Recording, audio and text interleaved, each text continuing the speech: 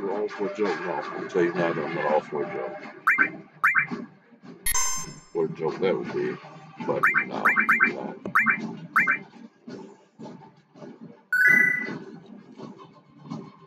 No, that's all.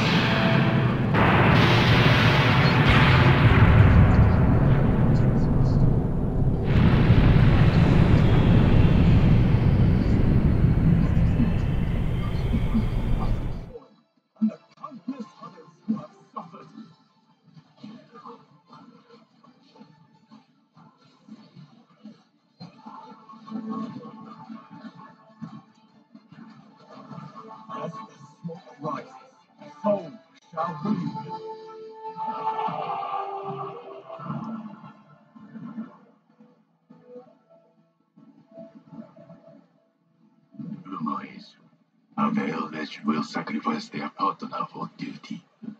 So which of you will do the deed? The chain of events were in plain sight. Strange accidents leading to the government's claim of eminent domain and subsequent seizure of the peninsula. The evacuation of 100,000 people and the attempt, an abject